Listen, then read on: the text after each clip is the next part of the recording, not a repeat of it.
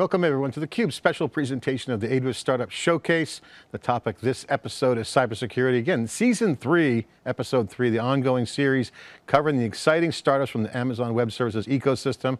I'm your host, John Furrier. Today, we're excited to be joined by Rehan Jalil, CUBE alumni and CEO of Securiti AI, securiti.ai. Love the .ai URL. Couldn't get the CUBE AI, by the way, because it was too hard. But Rehan, thanks for coming back on theCUBE and, and congratulations for being selected on the AWS Startup Showcase. John, it's always a pleasure talking to you. Thanks for being, uh, being a host for the show. You got, you've been a serial entrepreneur multiple times, you've been a tech executive, investor, and founder of Securiti This company. You know, this whole data aspect of security, compliance has been a big deal. You've seen this kind of movie before as the GM of security at Symantec, okay, and you had, you've been a startup success. This generative AI has been a tailwind for many companies that have been kind of, I won't say grinding, but developing in the, in the next gen cloud. So cloud apps, security has been a big part of that. Um, it's in the news everywhere. ChatGPT educated everybody. Now it's become an industry standard conversation and soon to be feature and operationalized in companies. Um, what does the Gen AI wave mean to you guys? And it's new, will be as big as people think it's going to be. What's your take on the AI? How's it impacting you? John, maybe we can talk a bit about why this is such a big deal, right? I think AI has existed for some time and is doing its magic, but this is very different. Previously, the AI was more, more about looking at the data, finding patterns, and now it's about understanding the symbolic language constructs, understanding the hidden mathematics that exist in all languages, which we probably didn't know. And having that full command of a, of a machine on the, any language, that is very, very powerful because machines didn't understand natural language before, didn't understand unstructured data this way before. Now it is possible.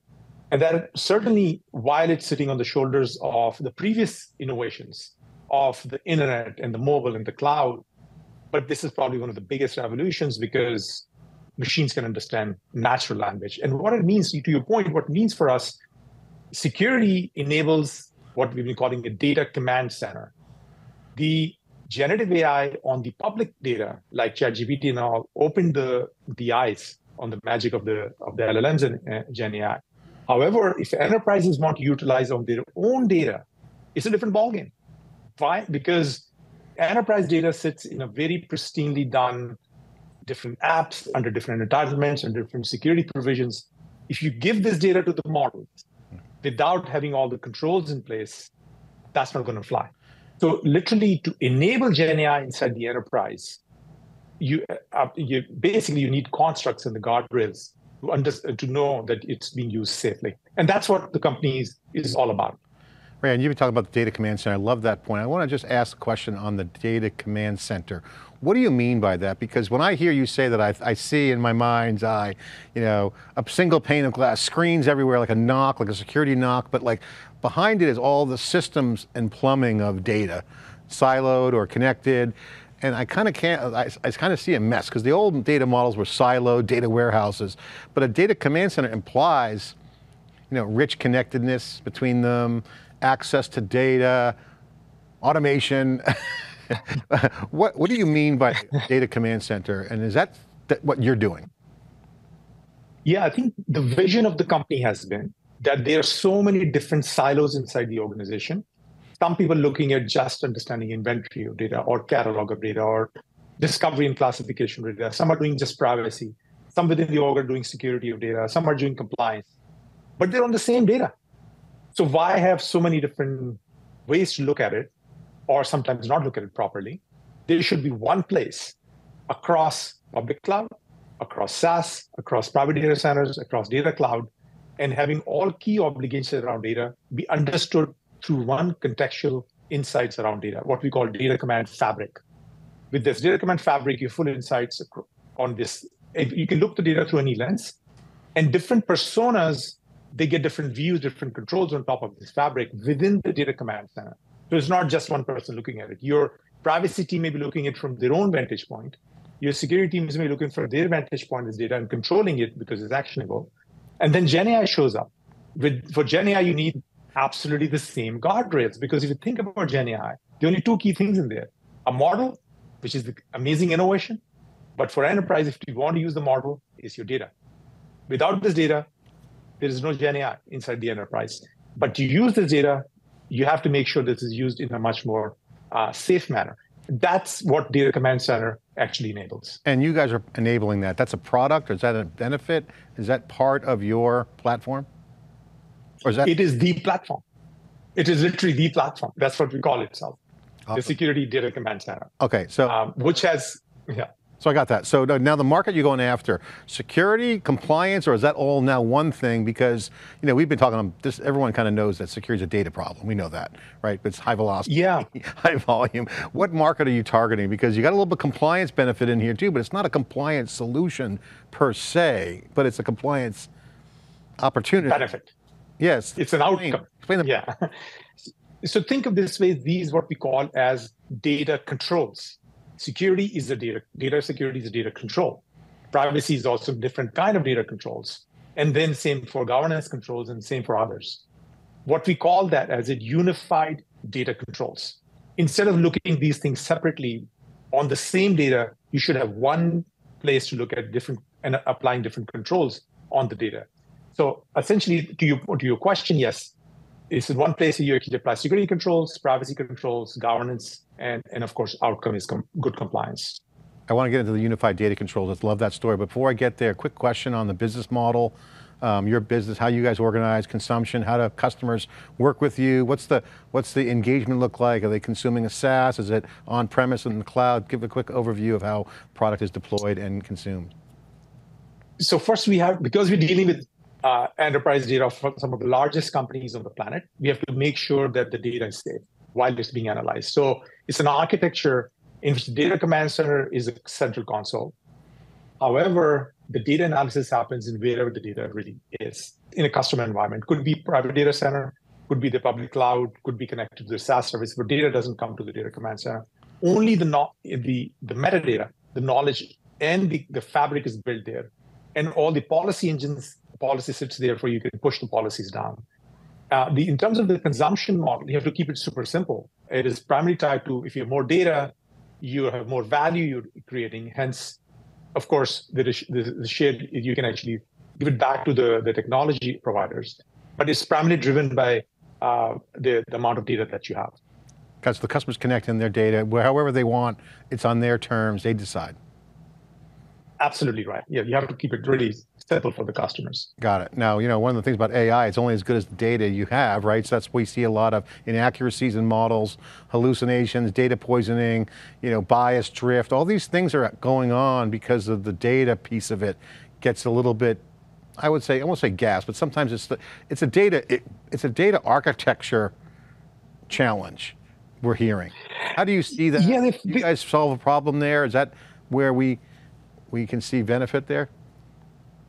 So there are four areas I would say you got to look at when using gener- generative AI. The first is the model.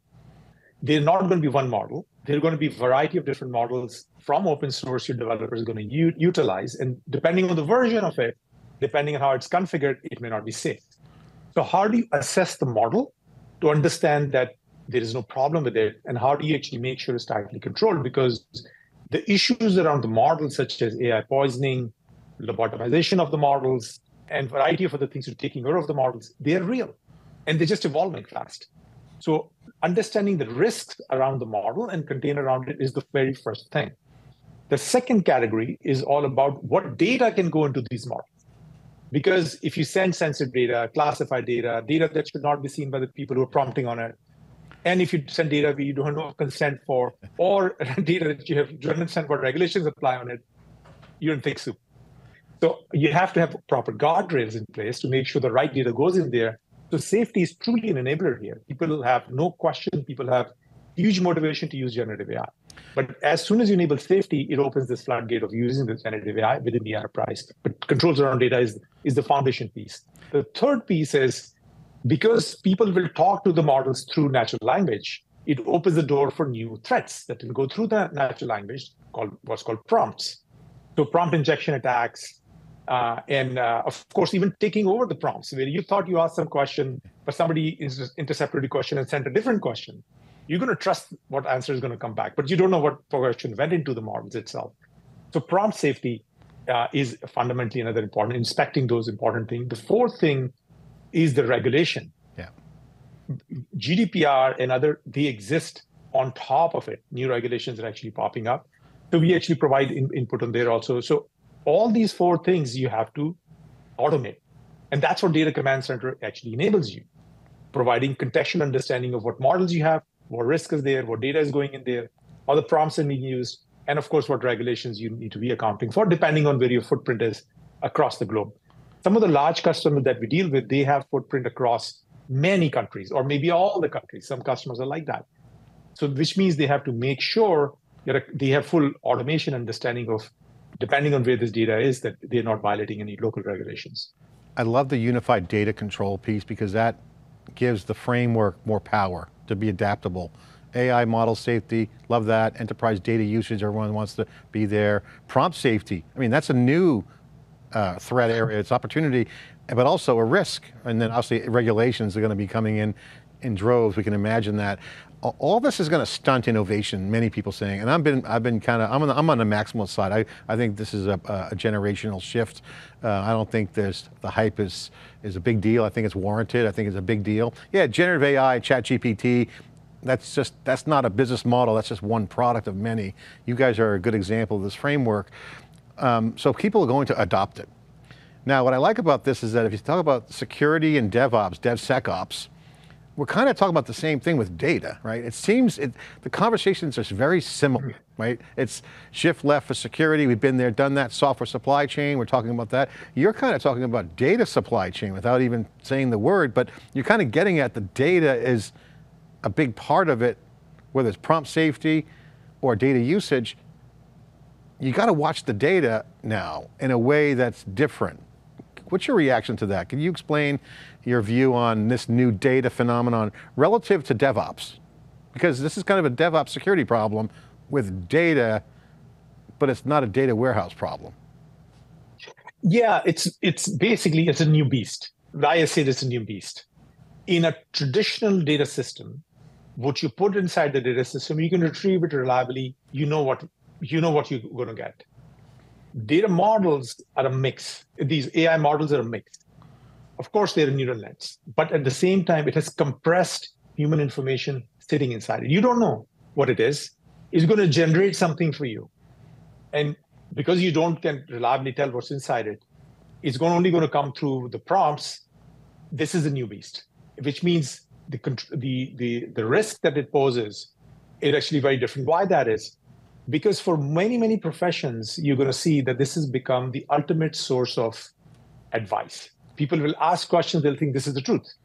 So if actually they're based on uh, training data attacks or based on attacks straight on the neural nets, or based on poisoning of these models, or based on wrong data, you get wrong advice, you take wrong decisions, it's a business problem or if you fed wrong data, sensitive data inside it, and it can be exfiltrated from the prompts, that's a problem. And uh, by the way, other thing to keep in mind is that if you feed some data in, into these models, you can expect it will be taken out somehow, right? Even if you put a bunch of guardrails around your prompts, right? So you better be very, very careful on what data you are feeding into these, these models itself. So all these considerations, I would say, is not really an impediment. I mean, of course, you want to make sure this this is done right.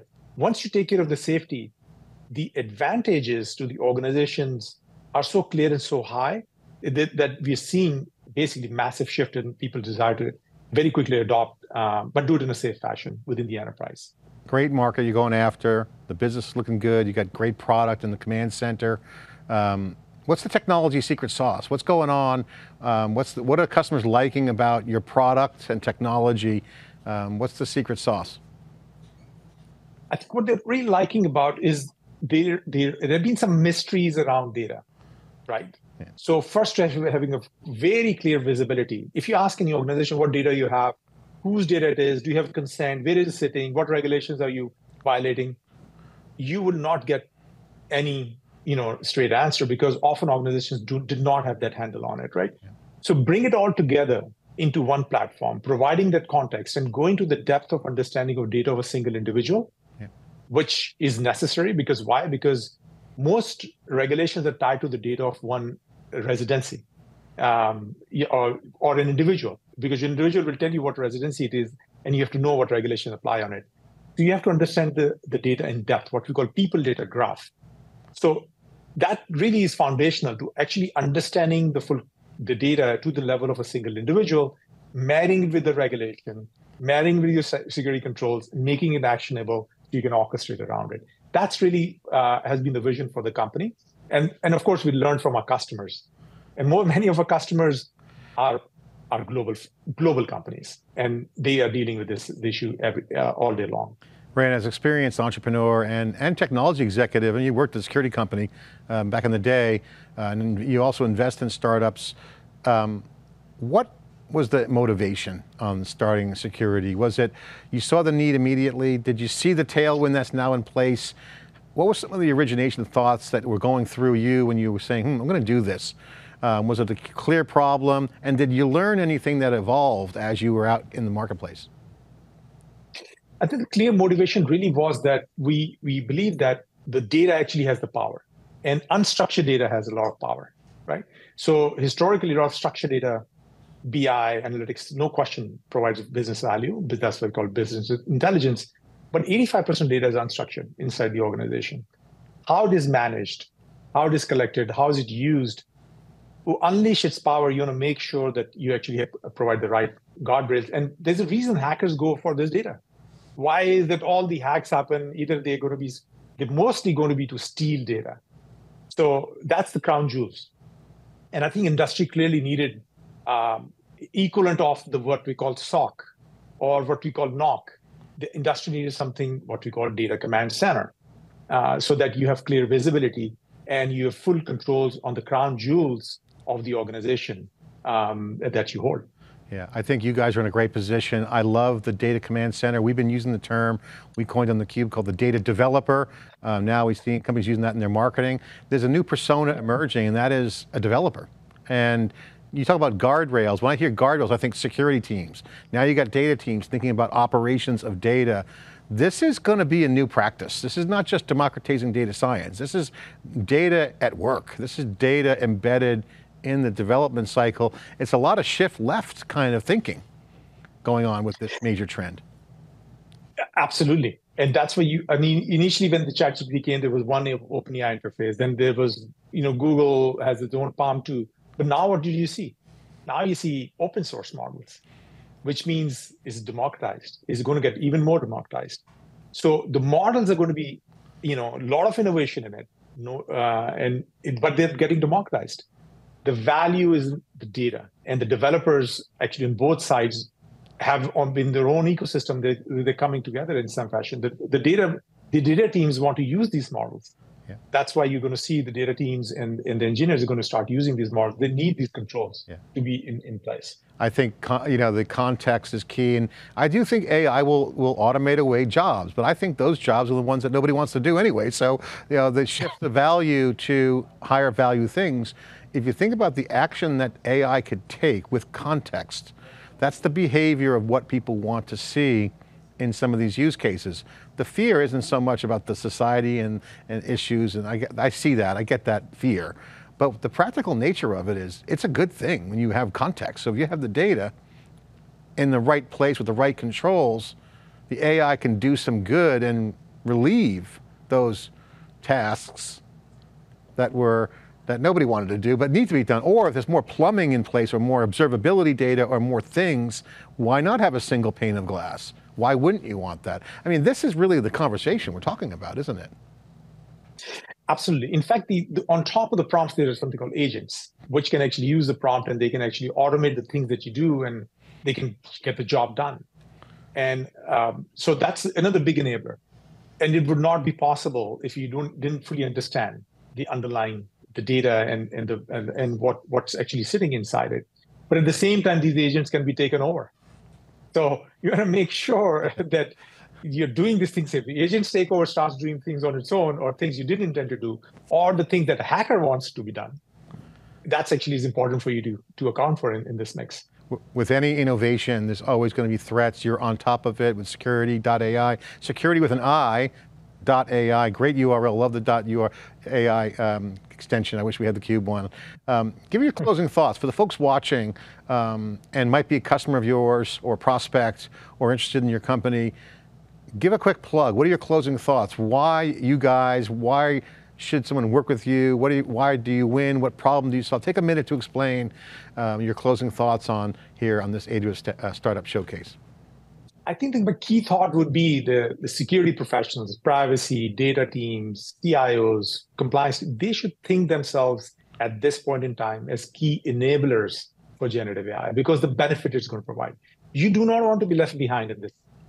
You don't want other others to be actually innovating more than you actually if you actually have data and you have use cases these professionals we should think ourselves as the key enablers by enabling this automation and safety around generative ai because that will unleash the power of the, the enterprise data. And that's really what the key role that you actually uh, can be playing in this, this massive revolution that's going on. Congratulations, I think you're a great solution. Bring that top down, bottoms up communities together as operationalizing AI will become a very important project on the agenda for all enterprises and, and growing businesses. Rehan Jalil, CEO of Securiti, thanks for coming on theCUBE for the AWS Startup Showcase, episode three of the third season, cybersecurity is the focus. Thanks for coming on. John, it's a pleasure talking to you. Thanks for hosting me. Keep it right there, more action on theCUBE, your leader in tech coverage, extracting the signal from the noise. I'm John Furrier, your host. Thanks for watching.